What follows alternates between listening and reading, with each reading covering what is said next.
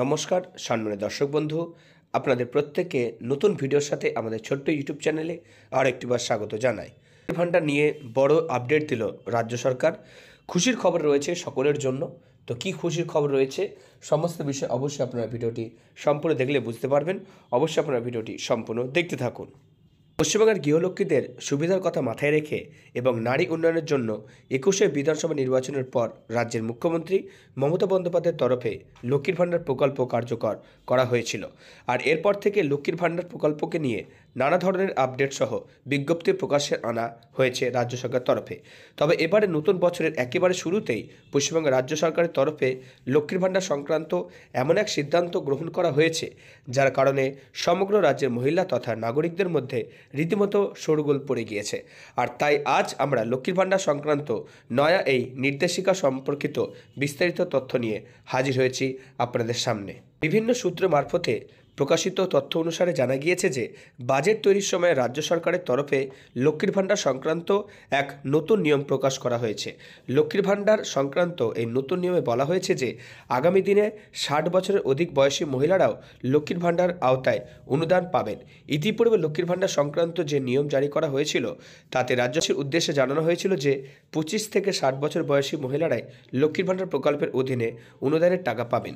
তবে এবার সেই নিয়মকে নাচক করে রাজ্য সরকারের তরফে লক্ষ্মীর ভাণ্ডার সংক্রান্ত এই নতুন নিয়ম জারি করা হলো, যার কারণে ষাট বছর বয়সের পরও মহিলা লক্ষ্মীর ভাণ্ডার প্রকল্পের অধীনে অনুদান পেতে চলেছেন।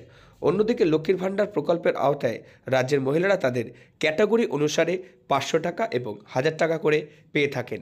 তবে এবারে এই নিয়মও পরিবর্তন আনা হলো। লক্ষ্মীর ভাণ্ডার সংক্রান্ত এই নতুন নির্দেশিকায় সমগ্র রাজ্যবাসীর উদ্দেশ্যে জানানো হয়েছে যে, আগামী দিনে ষাট বছরের বেশি বয়সী যে সমস্ত মহিলা লক্ষ্মীর ভাণ্ডার প্রকল্পের অধীনে অনুদান পাবেন, তারা হাজার টাকা করেই অনুদান পাবেন। অর্থাৎ পঁচিশ থেকে ষাট বছর বয়সের যে সমস্ত মহিলারা পাঁচশো টাকা করে অনুদান পেয়ে থাকেন, তারা ষাট বছরের পরে হাজার টাকা করে অনুদান পেতে চলেছেন। রাজ্য সরকারের নতুন সিদ্ধান্তর ফলে রাজ্য বসবাসকারী সমস্ত বয়স্ক মহিলাদের আর আলাদা করে বার্ধক্য ভাতার অধীনে অনুদানের জন্য আবেদন করতে হবে না। লক্ষ্মী ভাণ্ডার প্রকল্পের মাধ্যমে তারা বার্ধক্য ভাতার অধীনে অনুদান পেয়ে যাবেন। সুতরাং রাজ্য সরকারের এই নতুন সিদ্ধান্তের ফলে একদিকে যেমন মহিলাদের আলাদা করে বার্ধক্য ভাতার অধীনে নাম নথিভুক্ত করানোর প্রয়োজন হবে না, অন্যদিকে ঠিক তেমনভাবে রাজ্যে সরকারি কর্মীদেরও ঝঞ্ঝাট কমবে। সর্বোপরি রাজ্য সরকারের এই নতুন সিদ্ধান্ত রাজ্যের নাগরিক থেকে শুরু করে ওয়াকিবহালের কথা ব্যক্তিদের কাছে রীতিমতোই প্রশংসিত হয়েছে। অর্থাৎ বন্ধুরা, এতদিন কিন্তু আমরা প্রত্যেকে জানতাম যে ষাট বছরের পরে লক্ষ্মী ভাণ্ডার প্রকল্পের টাকা পাবে না। কিন্তু এখন থেকে কিন্তু আপনারা যাদের ষাট বছর হয়ে যাচ্ছে, তারা কিন্তু লক্ষ্মী ভাণ্ডার প্রকল্পের টাকা পাবে এবং যারা পাঁচশো টাকা করে পাচ্ছিলেন তারা হাজার টাকা করে পাবেন এবং যারা হাজার টাকা করে পাচ্ছিলেন, তারা কিন্তু হাজার টাকা করেই পাবেন।